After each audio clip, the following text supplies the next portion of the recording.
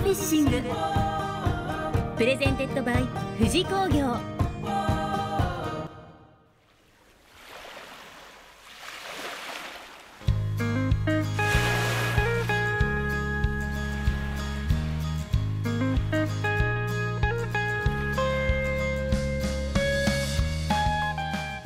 おはようございます。アウトドアフィッシングパーソナリティ世界を釣ろう代表の工藤英二です、えーさて今日はですね先週に続きまして元サッカー日本代表の中西英介さんをお招きしています、えー先週は、えーまあ、日本代表メンバーとして、えーそこまで、まあ、サッカー界で活躍された方が、えーどのようにして釣りに出会ったのかと、えーそれからバス釣りから海釣りまでどのように幅広く楽しむようになったかなど、えーいろいろと伺いました。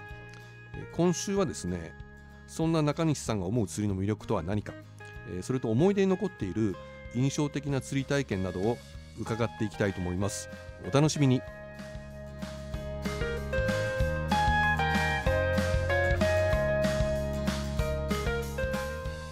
アウトドアフィッシング。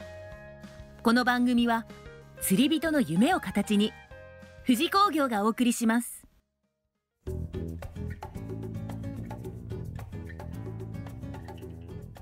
改めまして工藤英二です、えー本日のゲストをご紹介します。先週に続きまして元サッカー日本代表の中西英介さんです。おはようございます、おはようございます。えー先週はですね、はい。あの釣りとの出会いということで、えーまあお子様の頃お父さんに連れられた海釣りっていうところから、い。あの中学校の時あの猫自分で作ったルアーで、はい。もう最初のバスを釣ったってはいいうところからハマっていったということで、はいやっぱり印象に残ったのはちょっと先週あの残念ながらお聞きできなかった方もいるみたいなので、はい。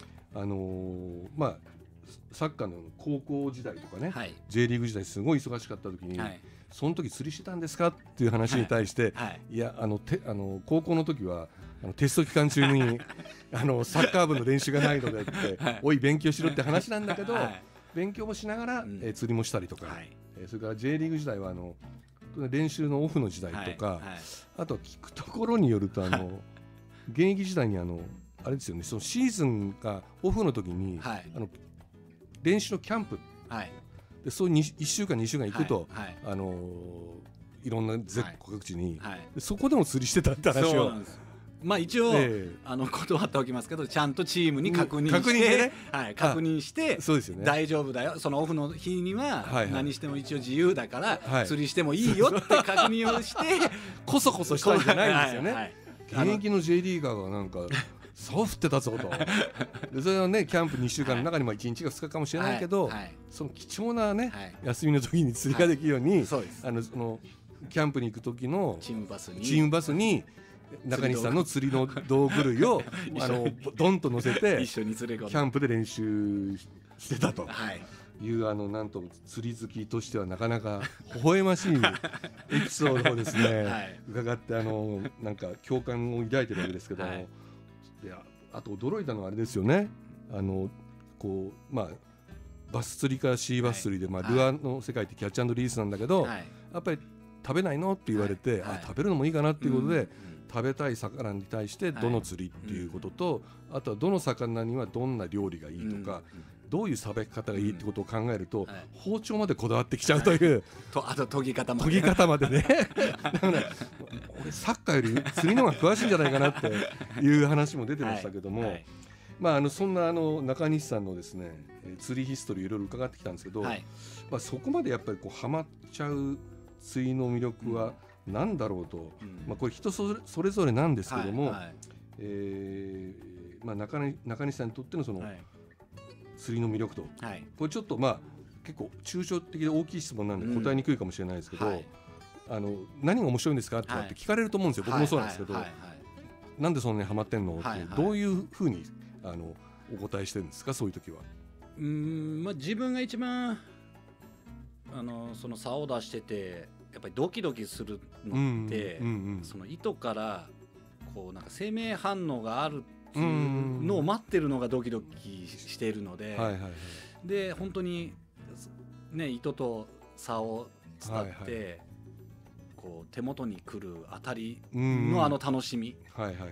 あのドキドキがハマってるっていうかハマった要因じゃないのかなと思うんですよね、はいはいはい。はい僕の中では。はいはい。でその後魚とファイトしてみたいなのが多分うんハマったきっかけだと思います。うんは確かにあのなんだろうその前後のね、はい。い、ろんな楽しみをね、はいあの釣り行く時のどういうプランい、にしようかとか、うん。はどういうた食べ方にしようかなっていうお話ありましたけど、い はい。多分そのまあ帰釣った帰ってきた後にその料理するっていうのはうんはい全てが面白いんでしょうけど、はいその中心にあるのはそこかもしれないですよね。そうですね。まあ、人それぞれなんでしょうけど、うんうん。やっぱりあのーまあそれがキャッチリリースだろうが、はい。釣って食べようが、はあのルアーだろうが餌釣りだろうが、あい。のやはっぱり魚が、うん。あの食ってきた時の、いはい。あのー生命感というか、はい。あのー振動がですね、はいビクビクっていう感じにこう伝わってくるっていうのはねあ。れ何回やっても飽きないですよね飽きないですね。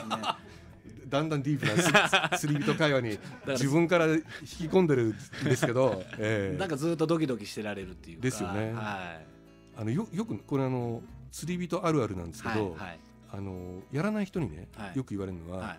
あの退屈しませんか？あの待ってる時何してんですかっていう 言われますいや。言われるけどね、はい待ってる時もドキドキなんですよ。そうなんですよね。ね。はい。結構忙しいんですよね。そうですね。だよく言われあと言われるのが、え短期なんでできないんだよねあって言われるんですけそうん。どでも逆に短期の方がねやっぱり釣りは合うって言うんですよえね。はい飽きちゃうって言いますよねのんびりしてると、はだから今か今かっていう 思いがあるから、いはい。だからあの旗から見てると、はい。そんなにあのねうん。騒がしい雰囲気ではないんですけど物静かに見えてるんですけど頭の中大変ですよね。そうなんですよね。で短期だともしかしたらこう今釣れないからうん。ああもうじゃあちょっとルアー変えてってうん違うなんか工夫しようとかね。はい工夫しようとして考えるから逆に釣れるかもしれない。ああしようこうしようとかってね、はい。えー探求心といえば探求心なんですけど あのちょっとあのディレクターの方があの釣りしないんですけどああそうなんですね。あのどうしようもないなこの釣り人二人はっていう目でね はい今見てますけど、はい。あそんな目で見られたりとか、はい。あのそういう質問よく受けますよね。そうですね。はい。はい。まああのまあそんなあのこう当たりの瞬間というかね、はい。そういうところのあのせ生命感が伝わってくるって話ありましたけど、はい。あのなんだろう。まあバス釣りから海釣りまでっていうことでまあはい。魚の対象の魚によって釣り方も何か、はいはい。あれなんですけど、はい。あのまあ先週ねお,、はい。おすすめのは魚定番はあったらやっぱアジフライですって話ありましたけど、うんはい。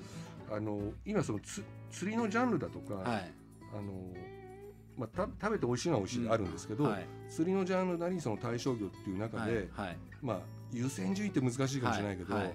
やっぱりこれ面白いなっていううん。釣りっていうのはどの辺ですか？中西さんとしては。やっぱり根本的にはうん。やっぱりバス釣りうんはうんあるんですよね自分の中には。うんでもその海も含めてそのまあ先ほど言いましたね当たりもとかのゲーム性もかん考えるとうん今一番面白いと思ってるのはうん。イカ釣りが面白いなっていう。そうですか。はい。もうエギじゃなくて本当に角でうん。やる角ってどういうやつ。こうあのプラスチックのプラズのをこう7本とかはいはいはい。つなげてああなるほど。はい、下にもう200メートルぐらいのところに落としてええ。やるイカ釣りなんですけど、えなんかすごく繊細な釣りなんですけど、うん。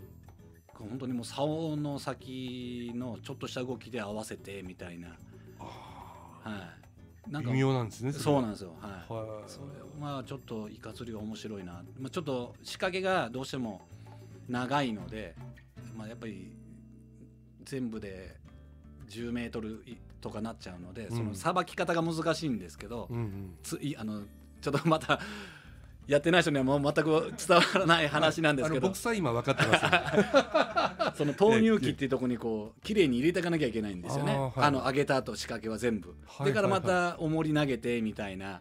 でピョンピョンピョンピョンピョンピョンってこう、鉄砲が飛んでいくみたいにこうイカツノがどんどんどんどん出てくるんですけどでその上げる時のこう綺麗に上げてちゃんと角に入れて角に入れてってこうやっていくのが難しいんですけど面白いです。いやーこれはねなかなか想像しにくいですけどね。ただあのあのねさっき言ったあのはい。エギっていうのはまあ、はい。あのまあある種一種のルアーですけど、はい。はい。そうじゃなくて今、はい。そういう割と伝統的な釣り方っていうことですよね。はい。はい。だからそのイカ釣りにはまってるっていう方も、あのよく聞きますよね。ね。深いんですねきっとね。うんそうですね。でも、はい初めてやるにはちょっと敷居が高いうん釣りなのでうん。僕も相当動画でイメトレしながら やっぱり基本的に今ちょっと一人で行くので、はいはいはい。やっぱりそんだけ長い仕掛けだと、はいやっぱり隣の人に迷惑かけちゃダメだとか、変なところに気使うのでなるほどね。だから本当に平日を狙っでて最初ついてるところでやっえてちょっと覚えて、はいはいはい。まだそのそこまでうまくできないんですけど、うんある程度は普通にはこうさばいてこう入れれるようになったかなみたいな。なはい。はい、あのーまあそのいろんな釣りをねされてるという中であのこれは魅力的だなっていう、うん。まあイカ釣りのご紹介があったんですけど、はい。あのーなんだろうなあの釣り人がですね、僕もそうなんですけど、はい。あのー長いことやってるとですね、はい。あのーまあたくさん経験してるのでうん。忘れてることもあるんですけど、はい。あのこれは印象に残ってるなっていうのは必ずあると思うんですよはい。ね。はい。で多分あのいい思い悪い思いうん。というか苦い経験もあるんだと思うんですけど、はい。あの幸せな経験っていうんですかね、あのまあ、まさにその先週伺ったはい。中学校の時うにん。友達からバスの手作りルアーを見せられて自分も作ってはい。それで釣ったバスっていうのはすごいあの印象的だと思うんですけど、はい。あのなんかいくつかそういうこう、これは良かったなとかあの感動したとかですね、うんはい。あの思い出に残る釣り体験っていうのはどんなものがあるかなっていうところなんですけど。そうですね。あのまあ現役時代まではやっぱりどうしても千葉の方にいたので、ええ。なかなかこう、まあ、遠征して釣りに行くっていうことはなかなか行けなかったんですけど、うん。やっぱり現役に対してからやっぱり時間に余裕ができたのもあってえちょっと行ってみたいと思ってたのがすごく琵琶湖にすごく行きたいとえ、思ってたんですよね。はいはい。やっぱりあの大きいブラックバスも釣れるしうんとか、でその中で行く機会を得ましてでまあ車で何回か通うことになったんですよね、うん。でももちろんガイドしてもらって、うんうん。でも最初のうちは行っても、まあ、よく釣れても4 5センチとか、あうん。琵琶湖行ってんのに50アップ釣れないかみたいな感じでやってたんですけども、ある時に、まあ、いい時期に行ったのかわからないんですけど、うん。初めて、まあ、56センチぐらいのを釣ってそれもすごくもうお腹パンパンの、はいはいはいはい。うわすごいバスだな。今まで見たことないバスだなですうん。ねやっぱりそれは衝撃の的でしたね、ははい。まあ、初めて琵琶湖に行ったのも衝撃的だったんですけど、うんうんやっぱり日本一の湖だなっていう衝撃も受けましたし、うん。まあ、それがまず第一印象で、まあ、何個本当に何個か印象的なのあるんですけどもう一個は72センチのタイ釣った時ですかね。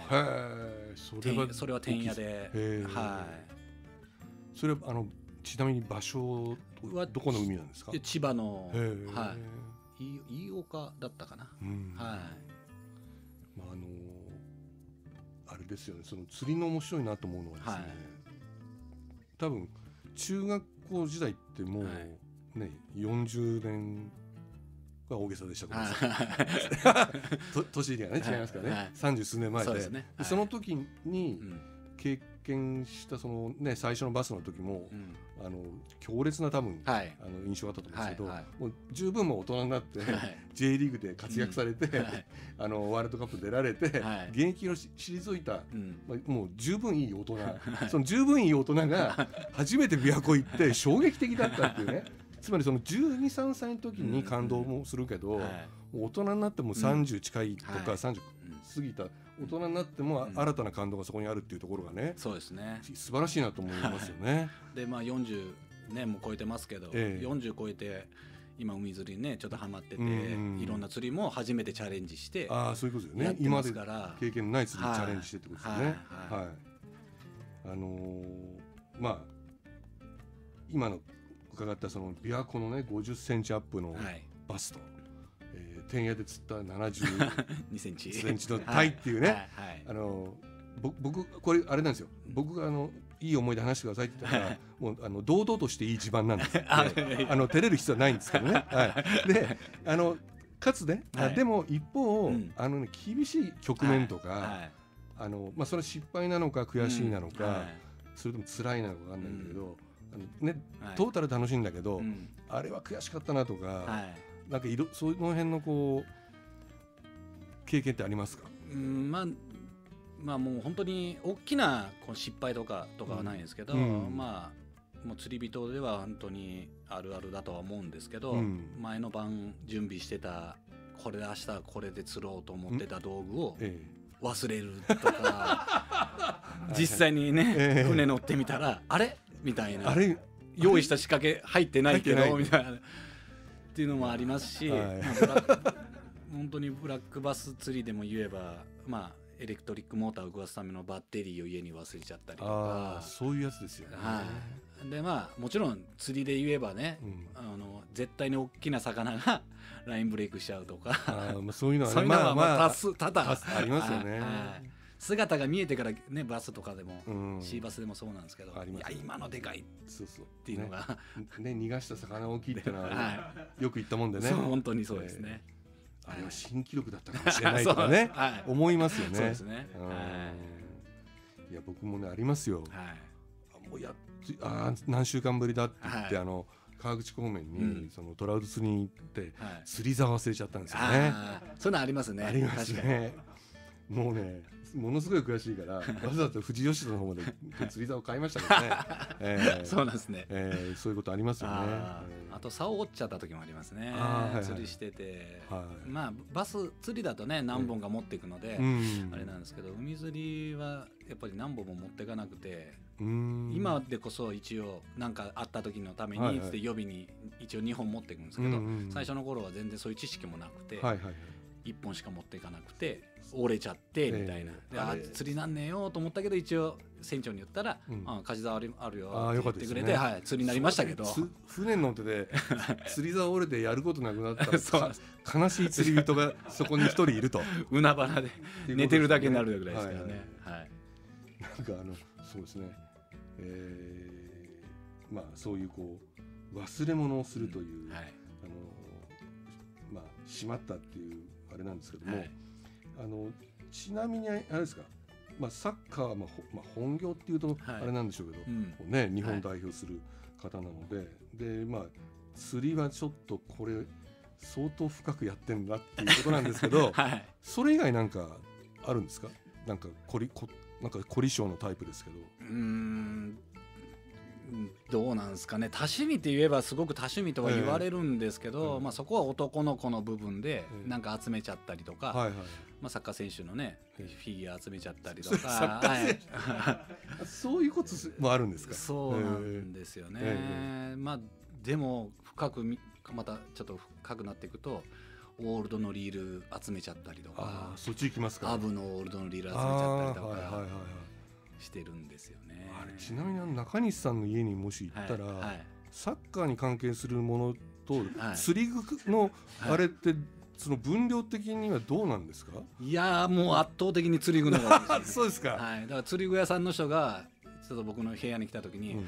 これちっちゃな釣り具屋さん開けるねって言われました。でも確かにねあのサッカーだともちろんそのなんかもう道具のトロフィーとかあるかもしれないけど、まあ、ボールとシューズとうん。ウェアとかってはい。割とシンプルだけど、はい。釣りってねいろんなことやろうと思うと それのための釣り具になってくるから、当然あの中西さんみたいに ルアーのバスからシーバスやって海のいろんな食べられる魚の釣りになると、それはねお店開けますよ。ねえ。らいこっちゃです。えいやということはサッカーと釣りでできてますね人生さがあそうですほぼ。ねそうかもしれないですね。ねえ。はいあのーあそうですね。まあそんなあのー釣り大好きの中西さんなんですけど、はい。40を超えても新しい釣りにチャレンジとはい。いうことなんですけど、えーさらにこうなんとなくこう頭の中でいろいろ考えたり、はい。えーこうしようああしようって考えるのお好きだってことなんですけど、はい。あのまだこう釣りの世界でこれやってみたい、あれやってみたいっていうのはうん。何かあるんですか、今はちょっとジギングやってみたいなうんうんうん。とは思ってるんですよね、ええ。まあ青物もそうなんですけど、はい。タチウオとか全般的にジギングでやってみたいなっていうのはあるんですけど、うん。でもまたそれやるとなるとねいろいろ揃えなきゃいけないなって やっぱりね。行きましょうよもうここまで来たら。お店がもうできつつあるんだから そういう中小規模の店舗が大型店になると思えばいいんじゃないですかね。そうですかね、でもあんまりにもね手出しすぎても、うん。やっぱりその旬な魚を釣りに行くのが重なったりするとねなかなーかあ迷いますよね。そうなんですよ。どっちにしようかなみたいな、はい。はいええ加減にせえよみたいな感じしますけど、えーはい。まああのー今じね最後時金生まれってお話ありましたけど、うんまあ、僕はもうあの迷うことなくね、はい。あのーまあ、サッカーのことはもうあの今回はちょっと ほとんどというか 何も触れられなかったんですけど、はいまあ、そのあのまだまだあの、はい。えーこれからという人生ですね、はい。あの自銀牛にも、はい。チャレンジしてね。釣りの世界を広げていっていただければと、はい。私は切に思います。ありがとうございまえす、ーいうことなんですけども、はい。もういろいろあの釣りの話盛りだくさんということで、はい。え2週にわたってそろそろお時間というはい。ことで、えー本日は元サッカー日本代表の中西英介さんに来ていただきました、え2週にわたりありがとうございました。ありがとうございました。ここでリスナープレゼントのお知らせです。アウトドアフィッシングや富士工業のロゴのオリジナルステッカーシートと富士タックルプラスノートをセットで毎週3名様にプレゼントいたします K-MIX 公式サイトの番組表にあるアウトドアフィッシングのメッセージフォームから住所、氏名、電話番号を明記の上オリジナルのステッカーシートとノート希望と書いて送ってください、えーその時にですね番組の感想なども書いていただけると嬉しいです。皆様からのご応募お待ちしております、えーさて来週もアウトドアや釣りの楽しみを皆さんと共有したいと思います。それではまた来週。パーソナリティは工藤英二でした。